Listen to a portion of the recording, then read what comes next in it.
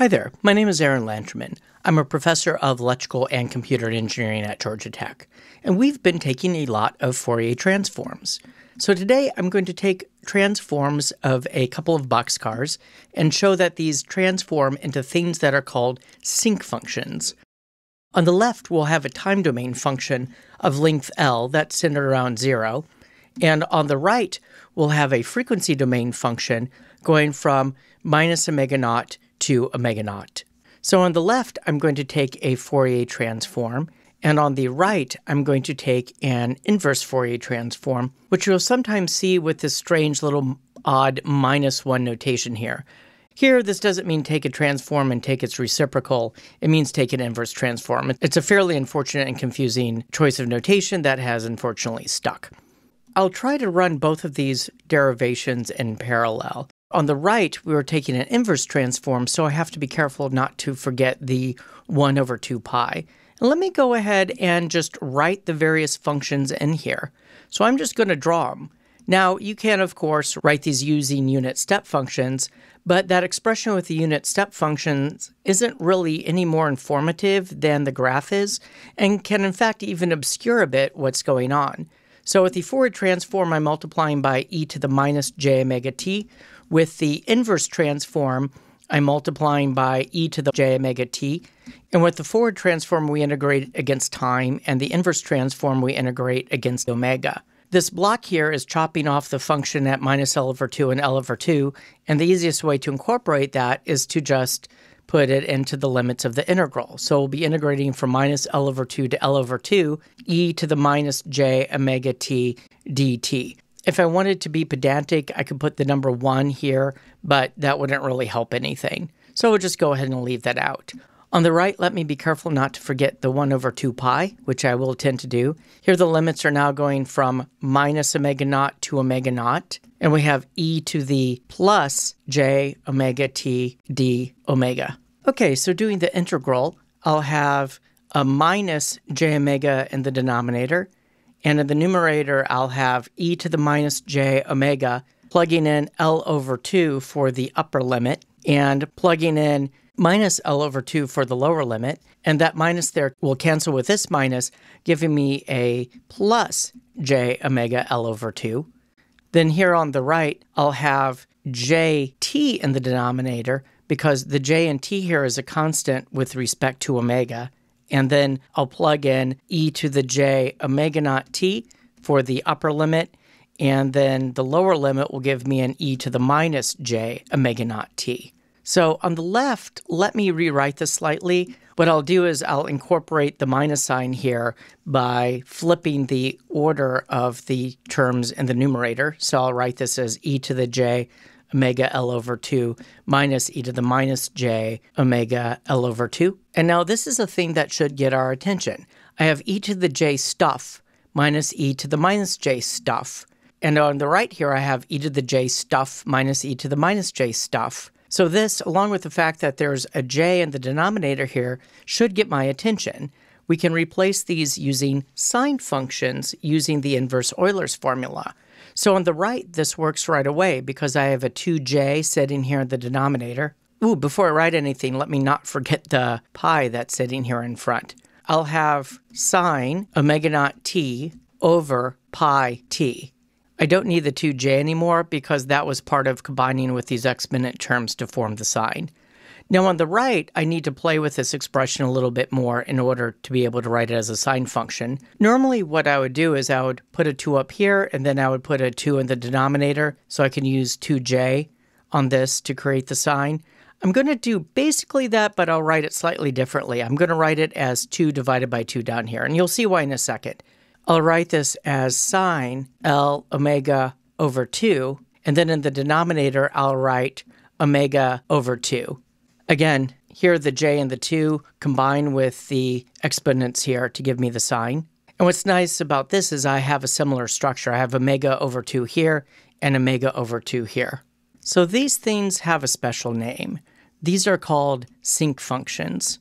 You'll often find textbooks define sinc of blah, blah, blah equals some stuff. They'll all have this sine stuff over stuff kind of form, but they'll have all sorts of different weird variations in here that can cause a good deal of confusion, particularly because different textbooks will use different definitions of quote unquote sinc.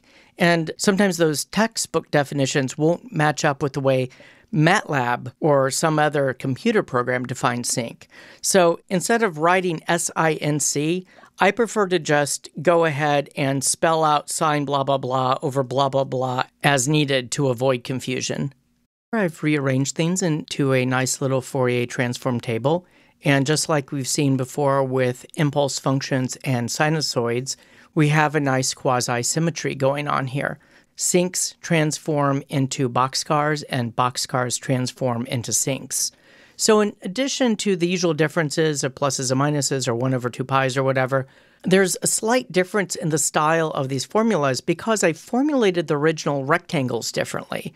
Here we have something of length L that is going from minus L over 2 to L over 2. Whereas when I did this in the frequency domain, I made a block here of length 2 omega naught going from minus omega naught to omega naught. This is reflective of the way that we tend to use these transforms in engineering. A mathematician may view these as basically being the same thing, but the way we experience these as engineers is different. The way we would usually use a boxcar function in time is to take some function and multiply it by a boxcar to indicate that we have some sort of base function like a sinusoid and that we're zeroing out things outside a particular region that we're looking at. That's often called windowing. On the other hand, when we use boxcar type functions in the frequency domain, this is usually representing a low pass filter function that's chopping off frequencies above omega naught. So that's why we notated these things slightly differently. So before we go further, let's talk about a problematic case. If omega equals zero in the case of this sinc function, or if t equals zero in the case of this function, we have an indeterminate form of zero over zero. We ran into something similar when we looked at the Fourier series of a square wave, and that's not a coincidence that we ran into something similar there, but we'll deal with that mostly in a future lecture. So, like when we looked at Fourier series, we have a couple of ways of dealing with this. One of them is to use L'Hopital's rule. So let's start with the sinc function on the left here. So the question we want to ask on the left is what is the limit of all of this stuff here as t approaches zero? So again, L'Hopital's rule requires some conditions to hold in order for it to work. If those conditions don't hold, you can still blindly apply the form of L'Hopital's rule and get a number, but that number doesn't mean anything. In this class, all of the stuff we're going to apply L'Hopital's rule. I promise L'Hopital's rule will work. We won't need to worry about it further. So in this case, we'll have omega naught coming out of the chain rule from taking the derivative of the sine, cosine omega naught t, and then in the denominator, we'll just have pi. So taking the limit as t goes to 0 in this case, well, the cosine will go to 1. So this will give us omega naught over pi. Now let's look at the case on the right. So on, in the right, let's see what happens to this expression here in the limit as omega goes to 0. So in this case, in the numerator, we'll have L over 2 popping out from the chain rule of taking the derivative. Again, we'll have a cosine L over 2 omega from taking the derivative, and then we'll have a 1 over 2 sitting here in the denominator. As omega goes to 0, this cosine will go to 1. The 2's here will wind up canceling, and I'll just be left with L. Let's check this another way and see if it makes sense. On the left here, it looks like I'm taking the limit of a chili pepper do they have yellow peppers? I guess we could take the limit of a yellow pepper, or maybe that's taking the limit of a banana. I don't know. Anyway, okay, to try to get a handle on this, let's just rewrite our forward and inverse Fourier transforms. And in particular, let's look at the special case where we plug in zero. So for the forward transform, we would wind up with this exponent turning into 1 because e to the 0 is 1, and we're just left with the integral of the function. So this resembles something that we saw with the zeroth Fourier series coefficients back when we were looking at Fourier series. Similarly, if I want to figure out what I get from the inverse transform formula when I plug in 0 for t, so I wind up with 1 over 2 pi the integral of the Fourier transform. So let's see what that means in the context of what we have above here. Well, what's the integral of this function? Well, this is just a rectangle. Forgot to draw it in, but it's got a height of 1. So I have something with a width of L, a height of 1, and L times 1, that's the area of the rectangle, that equals L. Remember, integral is a signed area, so if this had stuff that was negative, it would subtract that out. But here it's equal to L, so that's what we have over here. Okay, so what about the t equals 0 case? Well, let's see what we have here on the right. I have another rectangle, but now I have a height of 1 times a width of 2 omega naught going from here to here. But I also need to remember divide by 2 pi. That's a special thing that I get over here. And in this case, the 2's cancel, and I'm left with omega naught over pi. So everything here matches up. All right, let's see if we can get a handle on what these functions look like. The function on the top will have an omega axis, and the function on the bottom here will have a time axis.